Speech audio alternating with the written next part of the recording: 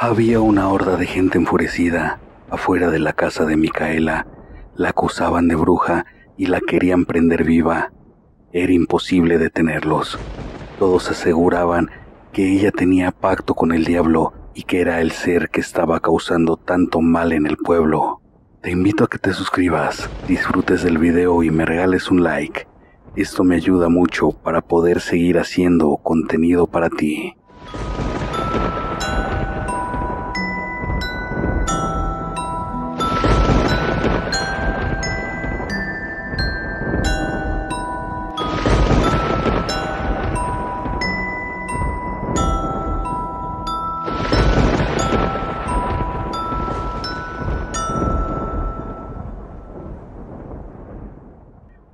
Del oculto les presenta... Mi tía es una bruja.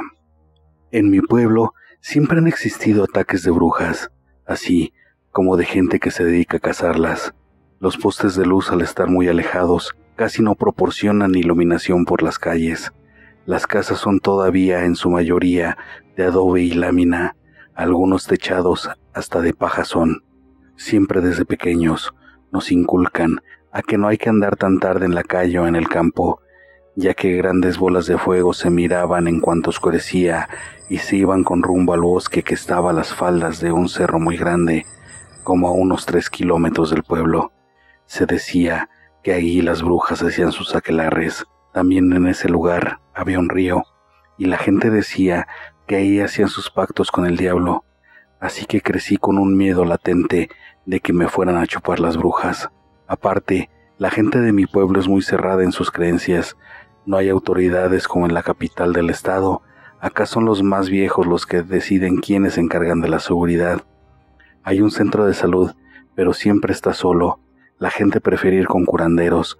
También las creencias en brujas, nahuales y muertos son de lo más comunes, y les puedo asegurar que yo mismo he visto las bolas de fuego surcar el cielo en las noches y he presenciado varias veces cuando han agarrado una bruja. Un día llegó al pueblo la sobrina de la señora Remigia.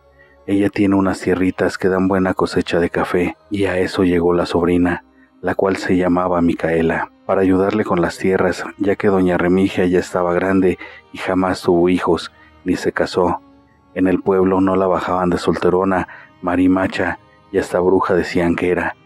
Micael era una chica muy bella, venía de otro municipio que estaba un poco lejos del de nosotros, tenía los ojos grandes y hermosos, un cabello negro que le llegaba hasta la cintura, su tez morena eclipsaba al sol, me encantó desde que llegó. En aquellos años solo se podía trabajar en el campo, pero poco a poco me las ingenié para que Micaela me hiciera caso. Al poco tiempo ya era mi novia. Siempre nos veíamos escondidas en el huerto de su casa. El apego era mucho, lo malo era que no toda la gente del pueblo la miraba con buenos ojos y entre ellos estaba mi familia. Todos decían que desde que llegó habían empezado a suceder cosas terribles.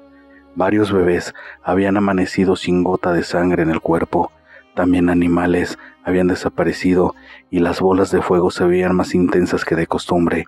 Todos se lo atribuían a Micaela. Murmuraban que ella era bruja como su tía y que venía a robarse a los bebés y muchas otras cosas más.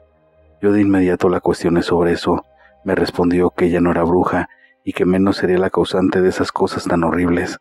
Varios de los que nos juntábamos siempre habíamos querido ir al chamizal, que estaba a la orilla del río, en donde las brujas hacían sus rituales, pero esto era imposible, ya que los mayores no nos dejaban, y la verdad siempre nos dio miedo. De hecho, yo ya había llegado a los golpes con varios de ellos, porque siempre decían que mi novia la bruja era la que se bebía la sangre de los bebés. Eso me hacía enfurecer y los atacaba. También de mí ya se hablaba. Todos decían que me había echado un conjuro para que me enamorara de ella y la defendiera. Como les dije hace rato, lo peor es que mi familia también decía lo mismo. Varias veces tuvimos diferencias Micaela y yo por estas situaciones. En serio, que todo cambió cuando una de las noches después de verla se metió rápido porque decía que se sentía mal. Ya cuando me alejaba del huerto, clarito vi una bola de fuego elevarse desde ahí.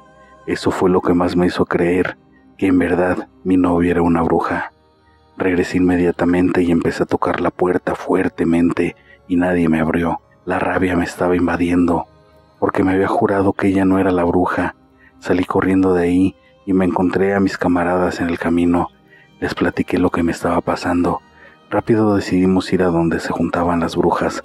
Agarramos unos caballos y partimos para el río. Galopamos y llegamos como en 40 minutos.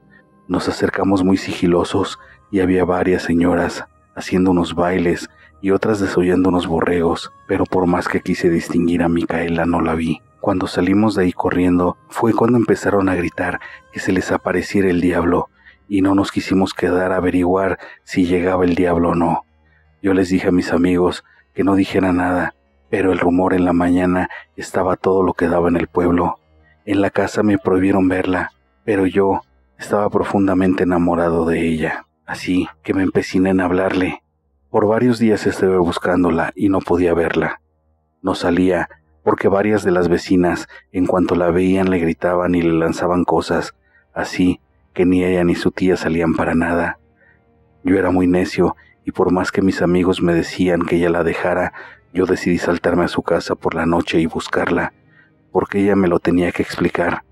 Ya adentro empecé a sumarme por varias habitaciones y no encontraba nada, hasta que por fin di con su recámara. Entré despacio para que su tía no me escuchara. La moví suavemente. Despertó espantada. Le tapé la boca para que no gritara mientras le hacía señas que se callara. Me dijo con desesperación, ¿qué haces aquí? y volteaba a todos lados. Yo le dije que no le haría nada, que solo quería hablar. Respondió, no, no es por eso, es que mi tía en cualquier momento puede llegar, y si te encuentra aquí, yo terminaré pagando. Temblaba y abría sus ojos enormes. Explícame qué está pasando, si eres la bruja. Ya dime la verdad, exclamé con voz de enojo. Ella me tomó de la mano y me dijo, prometo decirte todo, pero ahora sal de aquí por favor. Mañana búscame en el huerto, pero ya vete. Salí de inmediato y estaba súper confundido. La noche se me hizo larguísima y con los primeros rayos del sol corrí hacia su huerto y ahí me estaba esperando. Al verme me abrazó fuertemente. Yo le empujé y le dije que hablara. Me dijo, por favor, tienes que creerme, yo no soy una bruja y no quiero que creas todo lo que dice la gente. Yo estaba muy renuente, pero ella continuó. Sé que se dice que desde que llegué yo se ha dado más lo de los niños y también lo de los animales, pero te juro que yo no he sido, y para que veas que en verdad te quiero, te diré la verdad. La que es una bruja es mi tía Remigia. Lleva años alimentándose del pueblo, pero ha sido muy precavida. Siempre que alguien nuevo llega al pueblo es cuando más empieza a atacar para saciar su sed de sangre, y la gente culpa a la nueva del pueblo, como me está pasando a mí en estos momentos. Casi siempre las acusadas mejor se van de aquí antes de que las quieran quemar por brujas. Yo me le quedé viendo con ojos de odio y dijo, ¿Por qué me ves así? ¿Acaso no me crees? Me jaló de la mano y me llevó hasta la puerta de su casa. Te voy a mostrar que no miento. Entramos muy despacito, sin hacer ruido, porque la tía estaba dormida. Me llevó directamente a uno de los cuartos y las piernas me temblaron cuando entramos y vi aquel altar dedicado al maligno. Aparte, habían cráneos de animales, y se los juro que hasta llegué a ver pequeños cráneos humanos. Había un gran cofre cubierto con una sábana roja y muchas figuras y fotos del diablo, frascos con animales muertos, en líquidos muy extraños, olía horrible. Casi vomito, tanto de la impresión como del olor. Micaela me dijo en voz baja, ya ves que lo que te dije es cierto, mi tía es la bruja. Quiero que me ayudes a salir de aquí porque me tiene amenazada de que si alguien se entera o yo digo algo, le va a hacer daño a mis padres, que le dirá a sus amigas y los visitarán. Empezó a llorar y la abracé. Le dije que saliéramos de ahí. De pronto se escuchó una puerta y nos quedamos sin movernos y callados. Ella se asomó y vio que no había nadie. Salimos de ahí rápidamente. Llegamos al huerto. Le dije que nos fuéramos, pero se negó. Me dijo que la única forma que ella podía salir de ahí es que su tía ya no estuviera. Entonces le contesté que juntaría a la gente para que fueran a la casa y descubrieran que la tía era la bruja. La besé y le di un fuerte abrazo. Me fui a mi casa, ahí le platiqué a mis padres y no quisieron creerme, seguían diciendo que me tenían hierbado. Así que me la pasé toda la tarde convenciendo a mis familiares y nada dio resultado. Por lo que pensé en mis amigos, ellos sí me creerían y me ayudarían a acabar con la bruja remigia. Salí a buscarlos en contra de la voluntad de mis padres, pero me llevé una gran sorpresa cuando llegué a la plaza, porque habían varias personas ahí hablando y se estaban poniendo de acuerdo. Le querían a la casa de mi novia, pero a casarla a ella, ya que Remigia le dijo a las vecinas que había descubierto a su sobrina haciendo rituales satánicos, que ella era la bruja que azotaba aquel pueblo, que ella se iría, porque aunque era bruja también era su sobrina y le dolería mucho verla en la hoguera. Poco a poco se empezó a juntar más y más gente, solo esperaban a que escureciera bien para ir a la casa y quemarla con la bruja dentro. Ya ni le dije nada a mis amigos, salí a toda velocidad para la casa y al llegar de nuevo vi la enorme bola de fuego salir del huerto, volando por los cielos. Me salté y le grité a Micaela, entra a la casa y entonces logré escuchar unos sollozos atrás de la puerta del cuarto donde la tía guardaba culto al diablo. Traté de abrirlo, pero estaba con llave. Empecé a golpear la puerta, pero esto era inútil. Ella gritaba por dentro que la ayudaran, que su tía la encerró y que le confesó que ella daría su vida para que la de su tía se salvara, que por eso la había mandado traer. Rápido busqué por todos lados y encontré un machete. Comencé a pegarle a la puerta. La desesperación me invadió cuando al cabo de un rato se empezó a escuchar la gente gritando y alborotada afuera de la casa. Por más que golpeaba no podía abrir. Se escuchaba cómo empezaban a patear y a pegar contra la puerta. Se veía el reflejo de las antorchas ardiendo a través de las ventanas.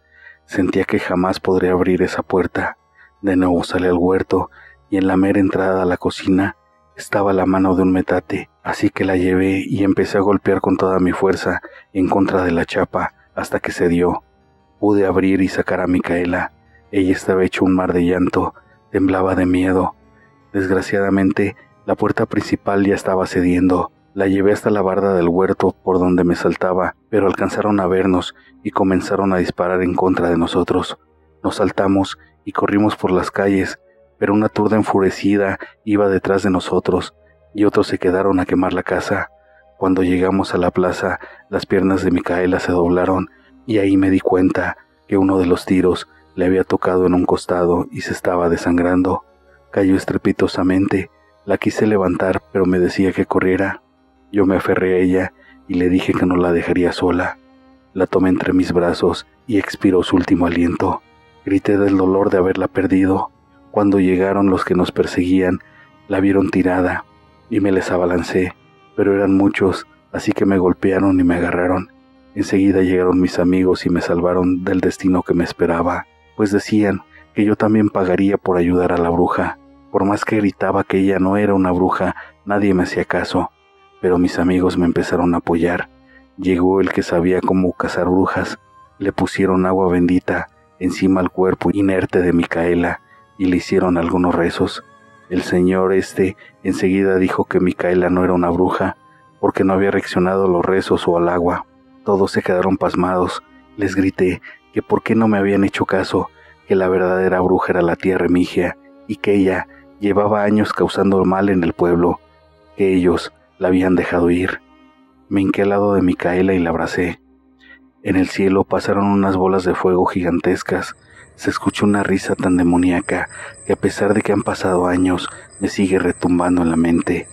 Así fue como viví esta trágica historia, y así fue como una bruja engañó al pueblo para que un inocente pagara por los crímenes y horrores que ella cometió. Gracias por escuchar mi relato.